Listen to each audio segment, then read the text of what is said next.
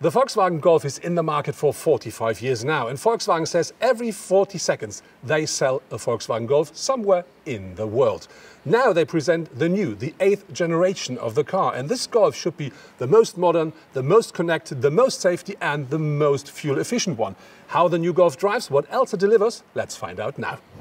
Really new with the new Golf is how you control the car here at the interior. So you will not find any buttons, any knobs anymore. Uh, so for instance, left side of the steering, you do find a panel where you can control the lights of the car.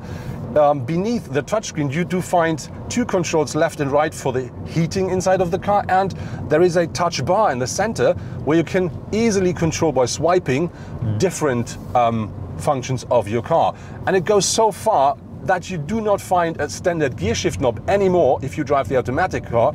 You will only find a very nice and tiny joystick here at the center console. A real eye-catcher is the new, unfortunately optional head-up display. It offers high resolution and shows all important informations for the journey. The new Golf is 1 meter 79 in width, and this is about a centimeter less than its predecessor. But it features the new Volkswagen logo at the front, and I think more important, it features new lights, because the new Golf comes as standard, always with LED lights, but there is a lot more to explore. With, IQ Light, Volkswagen, Volkswagen now also offers LED matrix headlights for the Golf. The Dynamic Light Assist activates up to 10 different partly interactive light functions with the 22 LEDs per headlight. Thanks to the use of map data in combination with driving data such as steering angle and speed, as well as the images from the front camera, the road is perfectly illuminated depending on the situation. My test car is featuring the 2-liter diesel engine, and that delivers 110 kilowatts or 150 horsepower and um, offers 360 newton meters of maximum torque. And this is combined in my car with a 7-speed DSG, so a double clutch transmission. And that package really works well with the car. It's not a new drivetrain, but still very nice and absolutely fine for the Golf. So you do have enough power to drive the car a bit more sporty, or you can just enjoy a very comfortable drive.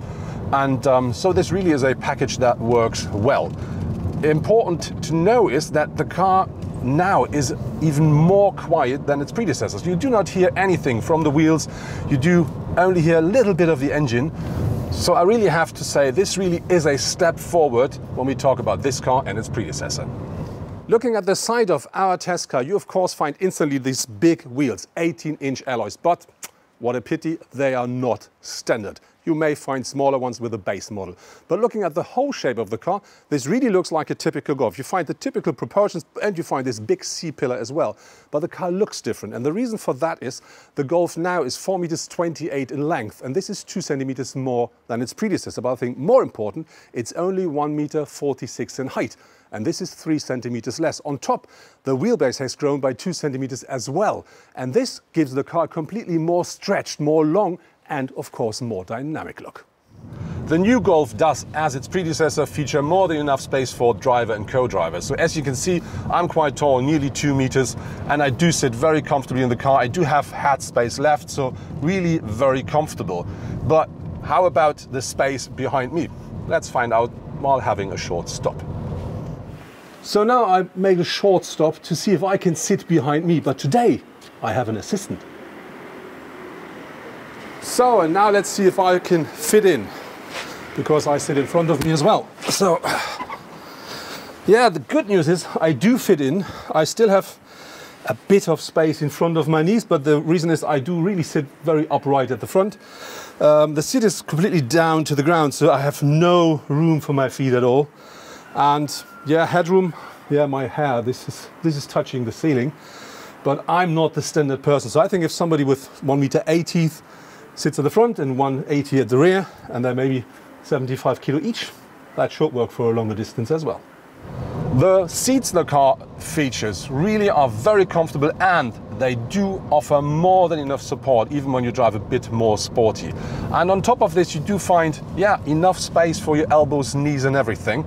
And what I really do like, even though we do have this massive C-pillar, you really have a very nice surround view inside your Golf. Looking at the rear of the new Golf, at first glimpse it really looks a lot like its predecessor, but some things really have changed. So for instance, you do now find as standard LED taillights. But if you want, you can have, let's say, a higher lighting standard, which then comes with a dynamic indicator as well with this so-called click-clack effect when you brake. This brings you more attention regarding to the cars and the driver behind you. On top of this, you do now find, of course, the new Volkswagen logo at the rear as well, and the Golf signature beneath it. So this is what is new with the new Golf's rear. The Golf, of course, features all the, let's say, must-have driver assistance and safety systems as standard. So, for instance, it comes with lane assist as standard, and it comes with an emergency braking system, which not only recognizes pedestrians, it also recognizes wildlife, it also recognizes um, cyclists. And this is something where I say, yeah, that really is a plus regarding to safety. But of course, you can have a lot more. There's loads more to configure. And very important is there is one really new thing you can have for the new Golf as well. In addition, it comes with an evasion assist and a new turn assistant as standards. If that's not enough, you can make your Golf even more comfortable and safer with the IQ Drive system. So, for example, the new predictive cruise control, the traffic jam and assist, and the exit assistant are available as well. Talking about materials and craftsmanship, of course, if you buy a Volkswagen, you expect good craftsmanship, and this is what you do find with the new Golf as well. Um, but this is something you expect. But on the other hand, we talk about materials, you of course find soft touch down here, soft touch here, soft touch here, and very nice surfaces when we talk about the dashboard, when we talk about the door panels. But if you go beneath the level of the dashboard, you do find plastic everywhere. And I have to say, with a new Golf, that's a bit disappointing. Standing at the rear of the car, let's have a look into the boot. With the rear seats up, the new Golf offers, as its predecessor, 380 liters of boot capacity. But when you fold down the rear bench, that increases now up to 1,237 liters. And this is, by the way, about 35 less than with the predecessor. As standard, the Golf now features a fully digital cockpit, so you will not find a standard instrument cluster anymore in the car. But of course, you can configure this digital cockpit the way you want, and if you want this round stuff, you can have it.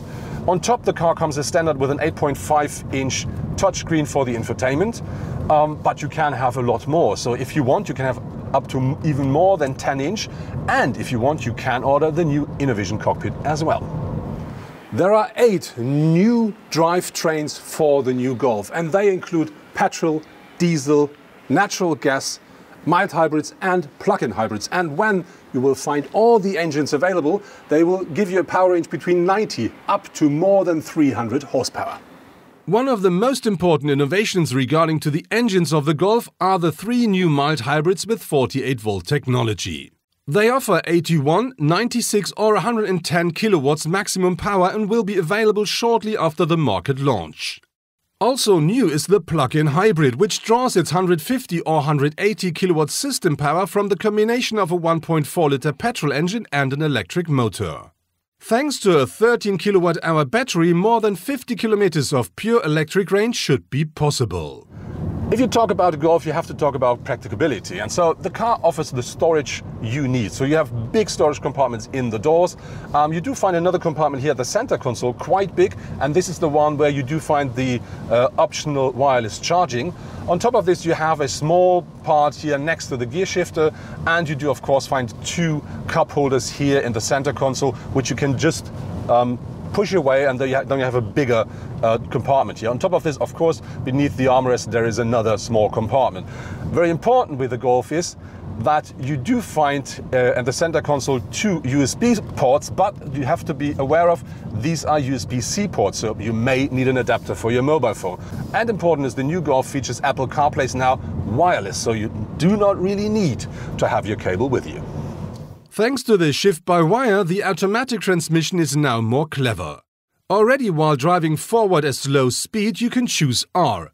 And only when the speed is low enough, the transmission switches gently into reverse gear. Volkswagen is not allowed um, to tell us any official numbers regarding to the fuel consumption yet. But um, the first car I drove was the 150 horsepower petrol car with a, a manual gearbox, and that car used a bit less than 7 liters per 100 kilometer driven. So I think quite a nice number. Now the diesel is a bit more efficient and so the number I have here in my uh, um, system at the moment is a bit less than 6.5 per 100 kilometer driven. But if you drive the Golf a bit more easy, the consumption can be lowered towards 5 liters of diesel easily. That was my first test drive with the new Volkswagen Golf 8.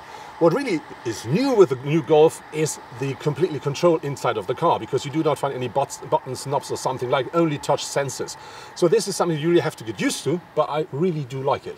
What for me is one of the highlights of the new Golf are the new driver assistance and safety systems because they provide you with more assistance, more security and they are a lot more comfortable and now the car really drives nearly autonomously.